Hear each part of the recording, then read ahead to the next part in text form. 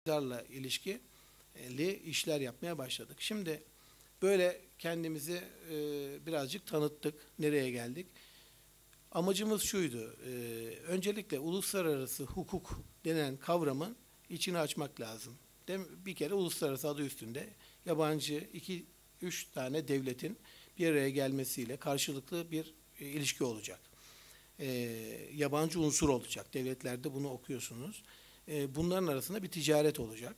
Bu ticaretten kaynaklanan hem öncesinde sözleşme türü e, ya da niyet mektubuyla başlayan bir ilişki başlama ağını daha sonra ilişkiyi bir sözleşmeye dönüştürüp o sözleşmenin içeriğini müzakereler yoluyla belirlemek hizmetini yaptıktan sonra bir de o sözleşmenin sonucunda taraflar arasında uyuşmazlık çıktığı zaman bunun e, çeşitli uyuşmazlık bitirme yollarıyla e, çözümlenmesini konuşuyoruz. Uluslararası ticaretin, hukukun genel tanımını böyle yapabilirim ben size. Bunun içine sektörel ayrımlar çok fazla giriyor. Şimdi artık sizin döneminizde çok e, geçerli olan bir uzmanlaşmaya yönelme var değil mi? Bizim zamanımızda öyle değildi. Bizim zamanımızda biz avukat oluyorduk, her işi yapıyorduk. Biz hala ben kendi adıma yine her işi yapan bir hukuk bürosu e, yönetiyorum. E, bu ne kadar doğru e, tartışılır ama biz böyle başladık ya. Biz eskiyiz çünkü. 1988'de kurulmuş bir hukuk bürosunu konuşuyoruz. O zamanlar ben sadece şu konuda uzmanım diye deme lüksümüz yoktu. E, örneğin ben bir büyükelçiliğin avukatlığını yapıyordum. Büyükelçi bir gün beni aradı dedi ki Hakan Bey sizden çok memnunuz, size çok güveniyoruz. Bizim bir vatandaşımız şurada hapse girdi. Siz bunu çıkartın. Ya ben ceza hukukçusu değilim. Ee, yok biz size güveniyoruz. Başkası olmaz. O zaman böyle işler vardı. Bunu anlattığım 20 sene önceyi konuşuyorum çocuklar. Şimdi e, o zaman ceza hukukçusu da oluyorsun.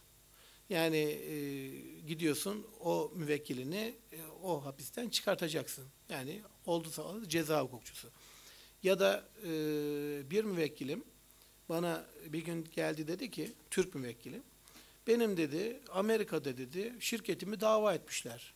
Bana dedi bir gün dedi celp geldi. Bak bunu dedi gönderiyorum size. Siz dedi bu şeye cevap verin. Şimdi adam normal zaten bizim normal davalarında kullanıyor işte asliye hukuktan, asliye ticaretten e, dilekçe gelince biz ona cevap veriyoruz ama adam öyle düşünüyor. Dedik ki bu böyle olmaz. E, bunu Amerikalı madem e, bir dava mahkeme açılmış bunu Amerikalı bir hukukçudan göstermemiz lazım. Onlardan destek almamız lazım. Hayır dedi biz bunu dedi sizle yapacağız dedi. Şimdi müvekkilleriniz sizi bir yöne itiyor arkadaşlar. Hayatta siz kendiniz bir istekle başlayacaksınız. Biraz önce söylediğim gibi çok isteyeceksiniz, istemelisiniz. Kendinizi oldukça hazırlamanız gerekiyor. İşte e, bugünün konusu uluslararasıysa yabancı bir dili mutlaka bilmeniz gerekiyor. Artık hele hele bizim e, alanımızda yabancı bir dil yetmemeye başladı. İki, üç ya da özellikle diller e, aranmaya başladı. Şimdi harıl harıl e, uluslararası hukuk alanında çalışmak isteyen gençlerin yaptıkları ne biliyor musunuz? Ben bunu görünce şaşırıyorum. Özellikle diller peşinde koşuyorlar. Nedir? Bunu açayım biraz. Ee, Türkiye ile ticaret yapan bazı yoğun ticaret yapan ülkeler var. Bir de dünyada ticaretin e, hakimi olan ülkeler var. Bunlar ne mesela? Çin değil mi? Yani Çin. Şimdi biz İngilizceyi, Fransızcayı, Avrupa dillerini, Avrupa Birliği'ni falan bir yere koyduk. Bu zaten bizim bildiğimiz şeydi. Ama şimdi çok farklı alanlar var. Bugün bir Japon şirketi gelip termi, e, nükleer santral yapıyor. Doğru mu? Öbür tarafa da Rus yapıyor. Belki duyuyorsunuz. Bunlara prensip olarak karşıyız ama devlette de nükleer santral yapmak konusunda çok ciddi bir e, PR çalışması var. Yani bizim beynimizi yıkıyorlar. Nükleer şart diye. Halbuki biz yenilenebilir enerji olsun diye çaba gösteriyoruz. E, bu tartışmaya girmiyorum. Yani hangisi gerekli? Ben hakikaten e, bilmiyorum. E, o konunun uzmanı da değilim. Enerji hukukuyla çalışıyorum ve daha çok yenilenebilir enerji alanında, güneş enerjisi alanında çalışıyorum. Hizmet veriyorum yabancı e, müvekkillere. Ama e, nükleer santral gerçekten olmalı mı, olmamalı mı? Yani kesinlikle olmamalı mı konusunda çok net değilim. Yani uzman olmadığı için değilim. Çevresel olarak baktığım zaman kesinlikle gönlüm el vermiyor. Ama enerji ihtiyacının e, boyutunu düşündüğümüz zaman da acaba ihtiyaç var mı? Büyüklerimiz bizim yerine düşünmüşler. İki yere Türkiye'nin bir güneyine bir kuzeyine iki tane nükleer santral koymuşlar. Biri Japonlar tarafından yapılıyor, biri Ruslar tarafından yapılıyor. Çinler de en büyük de savunma ihalesini aldılar. Şimdi o özellikle diller dediğim işte diller Çince, Rusça bu tür ya da gene dünyanın birçok yönünde yani e, Güney yarım kürede etkili Latin kökenli İspanyolca. Şimdi bu dillerde kendilerini geliştirmeye çalışıyorlar. Daha çok ne kadar büyük bir kitleye e, e, acaba ulaşabiliriz diye gençler bir çaba içindeler. İngilizce ama şart. Yani dünyada bütün uluslararası hukuk e, sözleşmeleri öncelikle İngilizceye tabi oluyor. Bunu bilesiniz. Artık çok universal bir e, dil. Bu şart. E, bu e, biraz önce bir örnek vermiştim. Oradan devam edeyim. Ne demiştim? Müvekkiller sizi bir noktaya götürüyorlar. Şimdi e, o müvekkilimiz de gitti bize dedi ki Amerika'da bu davaya cevap ver. Şimdi e, tabii müvekkili kırmamak için durumu araştırdık. Baktık ki Amerikan hukukuna göre e, sadece ve sadece Amerika'da baro eğitimi almış, yani barodan ruhsat almış, hukuk eğitimi almış, avukatlar e, mahkemelerde vekillerini temsil edebilirler. Ama hukukta hep okuduk değil mi? Her kuralın bir istisnası mutlaka var. Amerika'da da bunun istisnası varmış. Bunu bulduk. E, çok özel bir e, taleple mahkeme hakimine gidiyorsunuz ve diyorsunuz ki ben evet bu ülkenin, bu baronun, çünkü orada şu ayrımı da yapalım. İşte Amerika'da kaç tane eyalet var şimdi bilmiyorum 50 küsur mu bilmiyorum ama o eyaletlerin e, her birinin kendi baro ve hukuk sistemleri var. Yani değişebiliyor bile bu eyaletlerden eyalete. O baronun yani bir baronun e, üyesi olmayan olan diğer baronun, diğer eyaletin barosunda da zaten bizden farkı yok. Yani onlar kendileri sadece buraya çevirerek anlatalım. Ankara Barosu'na kayıtlı bir avukat İstanbul'da dava göremiyor. Böyle düşünün. Yani Amerika'da sistem bu. Dolayısıyla e, böyle bir istisnayı koymuşlar ve demişler ki mahkemenin takdiriyle e, başka bir baroya mensup avukatlar diğer e, yargı çevresinde dava görebilirler. Bunun da adına Latince pro hac vice diye bir şey söylemişler. Yani bu Latince pro hac vice bu anlama geliyormuş. Ee, bunu görünce biz dedik ki bari bundan yararlanalım, e, başvuralım. Başvurduk e, mahkemeye. Tabii mahkeme e, biz gittiğimizde şunu söyledi. Ya buradaki Amerikan bir hukukçudan destek alsanız daha iyi olmaz mı? Bana sorarsa benim zaten hiç yapmam lazım o işi ama müvekkil biraz da maddi e, tereddütlerle çünkü Amerika'da hak aramak çok çok yüksek bedelli arkadaşlar. Yani bugün biz Ankara'da, Türkiye'de, İstanbul'da bir hizmet vermek için bir bedel talep ettiğimizde müvekkillerimizden onun yaklaşık onun yaklaşık 10 katını, 15 katını e, Amerika'da ve İngiltere'de avukatların aldığını şöyle bir bilin. Yani gelişmişlik düzeyi mi dersiniz? Ekonomik zaten hani milli gelirimiz de zaten o oranda farklı ama e, avukat olarak bizim mesleğimizin karşılığı o ülkelerde çok daha fazla olduğu için müvekkil de ister istemez e, bize yöneldi. Biz de onu kırmamak ve bizim için de çok büyük bir macera olacağını düşündüğümüz için maceraya atılmaktan hiç kaçınmayın o yüzden. Bu talebi, teklifi kabul ettik ve başvurduk. Hakim kabul etti. Tabii onun kendine göre bir yeterlilik e, anlayışı var. Sizin ne kadar hazırlandığınıza bakıyor. Tabii böyle sadece ben gidiyorum demekle olmaz. Orada yaklaşık bir ay, iki ay o eyaletin hukukunu inceleme imkanımız oldu. Ticari bir uyuşmazlıktan bahsediyoruz. Uluslararası ticaret konumuza da uygun. Ben biraz onun özelliğine gireyim. Sizi e, en azından nasıl bu işler e, yargı aşamasına geliyor onu da anlatayım. İlginç bir konu çünkü. E, acentalığı biliyorsunuz değil mi? Acentalık e, bayilik, bu sözleşmeyi biliyorsunuz. Şimdi bizim müvekkilimiz, benim müvekkilim bir Türk firma. İran'da dahil olmak üzere yani Orta Doğu alanına e, bölgesel yetkisi onun. Bölgesel yani Orta Doğu yetkilisi, e, genel distribütörü diye geçiyor. E, bu ne anlama geliyor? Amerikalı bir şirketin distribütörü Türkiye'de de mal satabilir ama İran'da da mal satmak için bir distribütör ayarlayabilir. Bizim müvekkilimiz de gitmiş İran'da bir e, şirketi distribütör olarak atamış. Alt bayi gibi diyelim. Çünkü kendi distribütör. E, bir e, MR cihazı bugün hani MR çekiliyor ya o zamanlar MR daha yeni başlıyor. Bu anlattığım dediğim gibi yine yaklaşık bir 15 15 seneyi aşmış bir mevzu. MR cihazı satışı için İran'daki firmaya yetki veriyor. İran'daki firma da gidiyor bir üniversiteye bu imar MR cihazını satıyor. Gidecek insanlar orada çektirecekler, MR çektirecekler. İranlı firma gayet mutlu. Bizim müvekkil gayet mutlu çünkü o satıştan o da pay alacak. Ee, üniversiteye satılıyor hatta Tahran Üniversitesi'ne. Fakat tam e, o sırada o satış gerçekleştiriyor. Para gelmeden önce e, Amerika'ya, ana şirkete para transfer edilmeden önce Amerika ambargo koyuyor İran'a. Bu ambargo meseleleri biliyorsunuz. Amerika uzun yıllar İran'a ambargo koydu ve hala da geçerli biliyorsunuz. Şimdi onu aşmaya çalışıyorlar. Ambargo konulunca paralar ödenmiyor. Şimdi e, herkes mağdur. Amerikalı şirket malı gitmiş, üniversitede çatı, çalışıyor. O parasını alamıyor. Bizim müvekkilimiz komisyon alamıyor. İranlı firma komisyon alamıyor. Her, böyle bir mağduriyet çıkıyor. Daha sonra bir yasa çıkıyor. Bunu çok takip etmediğiniz için bilmeyebilirsiniz. Zaman zaman ambargonun yumuşatıldığı yerler, anlaşmalar oluyor ve bir anlaşmayla artık e, borçların ödenebilmesinin önü açılıyor. Ve e, İranlı şirkette diyor ki bu malın karşılığını sen alabileceksin artık. Sen bunu alırsan al. Bu beni ilgilendirmez.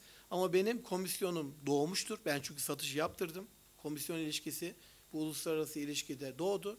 Bana bu komisyonumu ver diyor ve Amerika'da ana şirketi dava ederken benim müvekkilimi Türk şirketini de Amerika'da davet ediyor. Çünkü diyor ki benim alacağım komisyondan dolayı müşterek ve müteselsilen bunu okudunuz değil mi borçlar hukukunda? Ana şirketle e, Türkiye'deki şirket borçlular bana karşı diyor. Birini olmazsa diğerinden alırım diyor. Ama Amerika'da açıyor davayı. Yani o yüzden benim müvekkilim dava edilmiş oluyor Amerikan mahkemelerinde.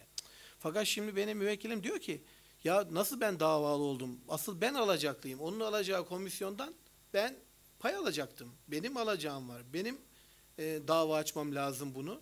Adam benden önce dava açmış. Bunu nasıl e, önüne geçeriz diye araştırdığımız zaman Amerikan hukukunda e, çapraz talep diye e, İngilizcesini biliyorum ama çapraz talep diye bir şey var.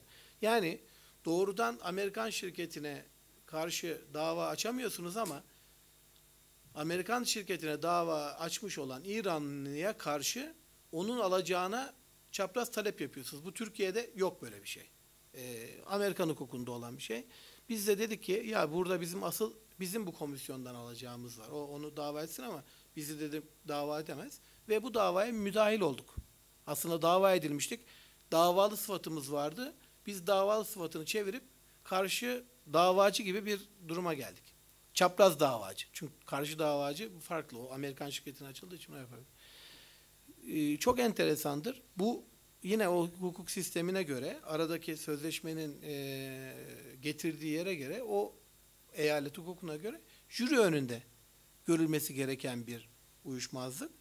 Biz gittik şimdi nasıl jürinin önüne çıkacağız? Yani filmlerde görmüşüz sadece jüriyi ama enteresan da geliyor konu. Ee, müvekkil de bize sonsuz güveni var. Yani o arada tabii o işte paraya ucuza geliyor. Hep oradan dolayı çok güvenli. Hakim buna diyor, diyor ki ya başka bir avukat alın diyor falan. Yok benim avukatım iyidir yapar falan diyor adam. Biz tabii e, orada böyle strese de giriyoruz ama bir yandan da gururumuz okşanıyor falan. Bir yandan da ama tabii ulan nasıl olacak bu iş? Neyse çalışmaya devam. E, bütün e, uluslararası sözleşmeleri okuyorsunuz. Sözleşme o kadar enteresan yapılmış ki Amerika ile dediğim gibi Türkiye arasında yapılmış, Türkiye İran arasında yapılmış aradaki geçerli hukuk İngiliz hukuku ama Frankfurt mahkemeleri yetkili kurulmuş. Şimdi böyle bir ilişki. Çünkü ana firmanın e, bütün bu yerlerde e, şeyi var. E, Avrupa e, bölgesi sorumlusu Frankfurt. Orayı e, geçirmişler. Yani karman çorman bir şey. Dolayısıyla biz işte gittik İngiltere'de diyelim bir ay hukuk araştırması yaptık. Bu İngiliz hukukuna göre e, çözülecek. Ama Frankfurt mahkemelerinde. Şimdi Frankfurt mahkemesi dediğin zaman o kıta Avrupası sistemi. Bu ayrımı biliyor musunuz? Yani Anglo-Sakson hukukuyla kıta Avrupası hukuku ayrımı biliyorsunuz değil mi? E, dolayısıyla şimdi Anglo-Sakson hukukunda bizim dava hukuku dediğimiz case law o geçerli. Orada bir e, kod, bir yazılı kanun yok. Orada insanlar daha önceki emsal kararlara bakarak hakimler karar üretiyor. Avukatın da mahareti daha önceki emsal kararları oraya koyabilmek zaten. Fakat kıta Avrupası hukukunda ise biliyorsunuz bizdeki olduğu gibi yasalar var. E, Yargıtay kararları yine emsal ama o kadar etkili değil. Önce yasa uygulanıyor. Şimdi Frankfurtlu bir e, hakimin e, bunu nasıl e, çözeceğini hiç kimsenin aklı ermedi. Dolayısıyla adam gitmiş bütün bu yetki e, ve hukuk anlaşmalarına rağmen dikkatinizi çekiyorum. İngiliz hukuku uygulanacak. Frankfurt mahkemesi. Adam gitmiş Amerika'da davasını açmış. İranlı. Şimdi hiç yani yeri yok. Niye? Çünkü Amerika'da Ohio eyaletinde davalının ikametgahı. O da bizim gibi klasik bizde de değil mi davalının yeri mahkemesini açarız. İlk bildiğimiz o hiçbir şey yapmazsa öyle yaparız. Dolayısıyla gitmiş orada açmış. Mahkeme önüne gelen uyuşmazlığı incelerken önce bakıyor. Burada e, Frankfurt mahkemeleri yetkili ben değilim. İngiliz hukuku yine benim hukukum uygulanmayacak. Ama ben bunu uygulama ben bunu çözmem lazım. İşte Amerikan adaletinin enteresan bir tarafı bütün bu kurallara rağmen Ohio hakimi kendisi bunu Ohio State yani eyalet hukuku hükümlerine göre çözebilme yetkisinin kendinde olduğunu söylüyor. Federal değil, eyalet dikkatinizi çekerim. Federal bütün Amerikan hukuku. Ve diyor ki benim eyalet hukukuma göre de böyle bir ticari uyuşmazlık ancak jüri önünde çözülür diyor ve davayı kabul ederek jürinin önüne götürüyor. Şimdi tabii çok enteresan bu İranlı şirketin işine geliyor. Çünkü adam orada bir avukat tutmuş. Amerika'da hemen davası görülürse Amerika'da hemen alıverecek. Amerika'da tahsilat nasıl oluyor bilen yoktur. Ben size anlatayım. Bizim burada icra dairelerimiz var değil mi? Orada hiç öyle şeyler yok. Dava bitiyor. Ben şimdi hemen sonuna geleyim. Size davanın sonuna getireyim. Dava bitti. Davanın sonunda hakim dedi ki benim kararım şudur. E ne olacak? Şimdi hepimiz böyle bekliyoruz. Kalktık karşısında işte şey edildi. Güzel. Bunu dedi şöyle yapacağız. Mr. bilmem ne davalı tarafın avukatı yarın e, sizi davacı tarafın ve biz karşı dava, çapraz davacı tarafın avukatı yarın büronuzda bir çay içmeye çağırın. Siz onlara çeki takdim edin. Olay bu arkadaşlar. Yani icrayla götmek, işte orada haciz yapmak falan böyle bir şey yok. Hakim bir talimat verdi. Dedi ki büronuzda buluşun davalı, davayı kaybeden tarafın avukatına bunu ödeyin dedi. Biz de gerçekten ertesi gün gittik. Adam bize bir çay ısmarladı. Bir de çeki verdi. İş bitti. Yani şimdi İranlı şirket bu imkanı bildiği için avukatına danışmış. Amerika'da görülmesine bunu itiraz etmedi. Biz bizim için de çapraz talep hakkı dedim ya bizim hukukumuzda yok. İngiliz hukukunda yok baktık. Zaten e, kıta Avrupası hukukunda böyle bir şey yok. Karşı dava var ama böyle bir çapraz uygulama bizim usulümüze göre mümkün değil. Bizim de işimize geldi. Biz de dava edilmişken bir anda sanki karşı davacı gibi o ikisinin talebinden bir pay alma imkanına geldik. Bu da bizim de işimize geldi. Herkes memnun. Yalnız bir sıkıntı var. Jüri önünde görülecek dava.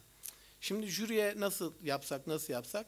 Hakim, ben şimdi sizi biraz avukat-hakim ilişkileri hakkında da burada bilgilendireyim. Çünkü benim en e, burada Türkiye'de üzüldüğüm, e, mesleğimi icra ederken de gerçekten zorlandığım konu hakimlerle avukatlar arasındaki ilişkiler.